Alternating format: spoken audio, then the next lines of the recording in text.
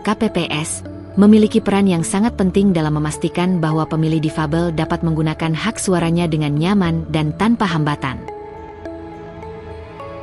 Ketika teman difabel mental datang ke TPS, petugas KPPS wajib memahami kondisi tersebut dengan cara Pertama lakukan komunikasi dengan pendamping secara tenang.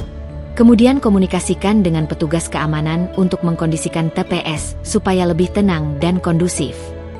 Selagi pendamping melakukan pengisian form C, silahkan bantu untuk mengawasi teman difabel mental agar tidak terganggu.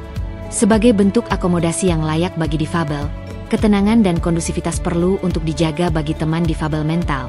Juga teman difabel yang hadir sendiri dan butuh ruang gerak yang lebih luas seperti pengguna kursi roda dan tongkat. Jika difabel tuli sedang berada di ruang tunggu, petugas KPPS dapat mendampingi di dekatnya sampai namanya dipanggil. Apabila teman-teman kesulitan berkomunikasi, bisa gunakan metode tulisan sederhana, sehingga teman difabel tuli memahami maksud gestur atau ucapan petugas KPPS. Berikan waktu bagi teman tuli sampai ada tanda sudah paham. Bagi teman difabel netra yang datang sendiri ke pencoblosan, Petugas KPPS bisa mendampingi dari administrasi sampai dengan di bilik suara atas izin teman difabel netra tersebut.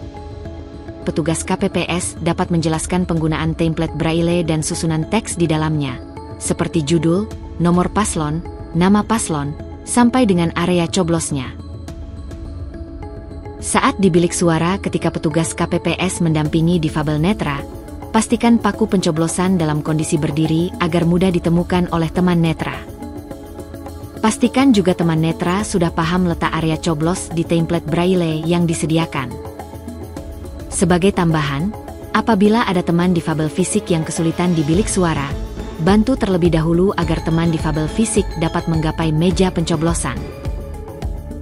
Saat teman difabel fisik berada di TPS, pastikan seluruh alat-alat yang digunakan dapat digapai sendiri dengan mudah, terutama saat difabel fisik menuju kotak suara, jika terlalu tinggi segera turunkan ke posisi yang lebih rendah. Setelah selesai petugas KPPS bisa membantu proses selanjutnya, yaitu celup jari dengan metode yang sama. Aksesibilitas dan akomodasi yang layak dalam proses pemilihan sangat penting bagi pemilih difabel. Mari bersama-sama kita wujudkan pemilu yang inklusif.